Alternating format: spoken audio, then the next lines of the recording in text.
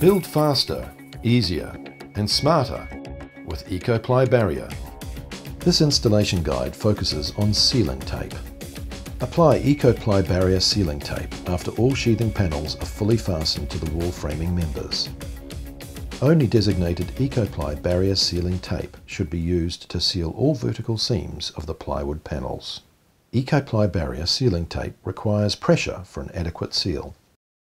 All seams between the panels must be taped with 60mm width grey colour EcoPly barrier sealing tape to ensure that it functions as a structural rigid air barrier system.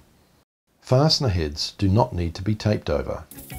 EcoPly barrier plywood panels can be exposed to weathering for up to 180 days and the sealing tape can be exposed to weathering up to 90 days prior to installation of the exterior cladding system. Use EcoPly Barrier PVC horizontal Z flashing for horizontal sheet joints. Sealing tape must extend under horizontal Z flashing at horizontal joints. Whenever tape splices occur at a vertical junction, create an overlapping splice of at least 50 millimeters. Be sure to apply adequate pressure for a secure bond between the plywood panel and the tape taking special care to remove any wrinkles or voids at splice areas.